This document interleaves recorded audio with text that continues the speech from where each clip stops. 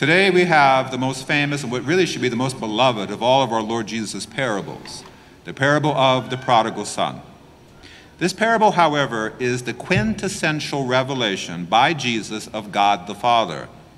If you want to know exactly who God the Father is and how he operates, this is the clearest picture of him.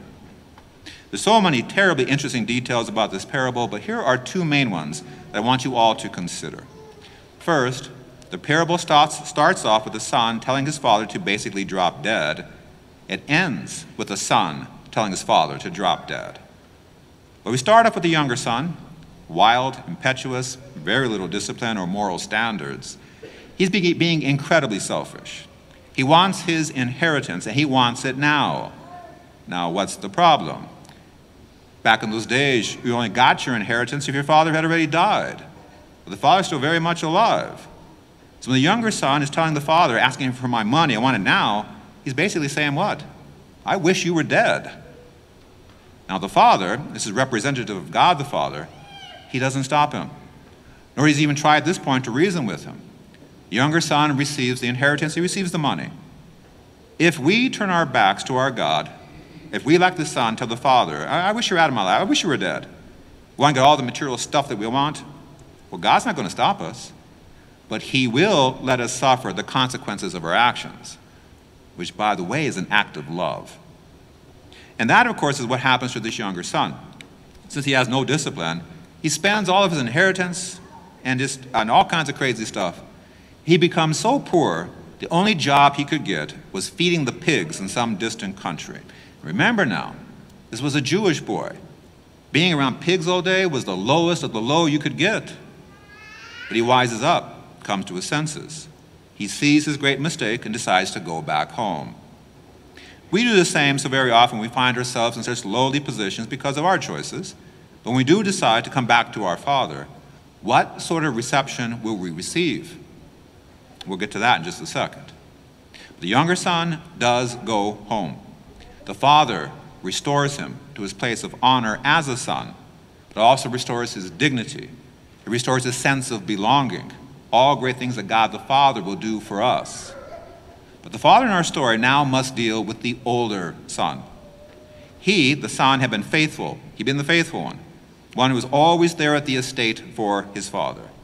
But he certainly was not happy at all when the youngest son came back home. So the father tries to reason with him. The oldest son is so upset that his foolish younger brother is back. He tells off his father. He won't listen to reason. He would not even go into the house to celebrate his brother's return. When the father tries to talk to him, the oldest son is so angry, he basically tells his father to drop dead. For those of you who might have been or are still in this position, you've been the faithful brother or sister. You were the one who always did what you're supposed to. Now, one of your siblings who lived a terrible life with terrible choices now comes home, gets all the attention, and there you are feeling all sorry for yourself. Take to heart the words the Father told the oldest son. The words, by the way, that God the Father will say to you My son, my daughter, you're here with me always. Everything I have is yours. That's an incredible reality. Everything the Father has is the Son's. But why wasn't he happy? Why was he so upset? How come he didn't rejoice when his brother finally came back home? It's actually very simple. He knows how to carry out orders, he does not know how to love. He doesn't understand how his father could still love that son. He does not welcome or forgive or even want to have anything to do with the younger brother because he does not know how to love. But what an example of love he had with the father right there in front of him. His father, just like God the Father, loves no matter what. He loves no matter what. Younger son had totally disrespected the father, but the father showing us how God the Father acts, gave him the money, let him go, but loved him no matter what.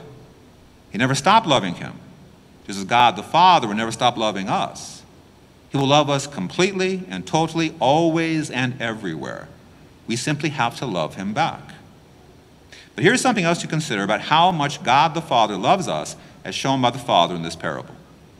There are a few things that the Father in our story does which God the Father will do for us. First of all, the Father was constantly looking out for the return of his younger son. He did not give up on his boy, always looking out in the distant horizon to see if he would be coming back home. Secondly, when the father does see the younger son coming way back in the distance, he goes out and runs toward him. That's important for a couple of very important reasons. First, back in that culture, it was not considered dignified for an older man to run. People, family, friends, others, they would run to you. You wouldn't run to anybody. But he ran, telling us what? God runs to us. The father sees his son coming back. He doesn't even consider how foolish he might look or how undignified. He loves him so completely, it compels him to run to his son.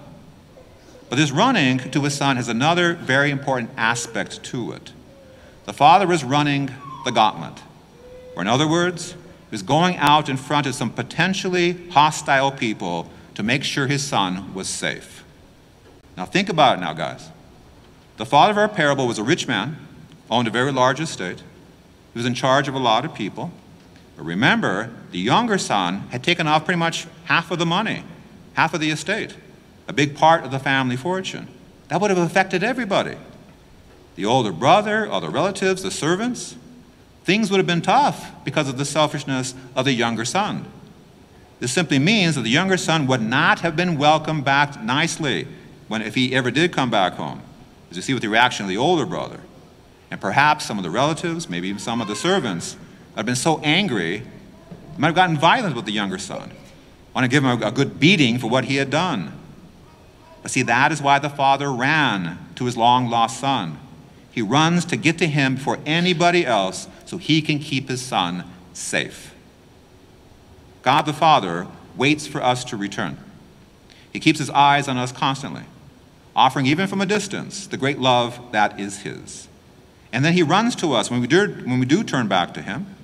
But he comes to get us, to receive us, to bless us with his protection, to make sure that nothing will stop us from coming back home safe and sound. And for us as Catholics, that's all done through the sacraments. We have an incredible Father who is our God. So to sum things up, it was St. Alphonsus Liguori who once said, He who trusts in himself is lost. He who trusts in God can do all things. What does it cost us to say, My God, help me, have mercy on me? Is there anything easier than that?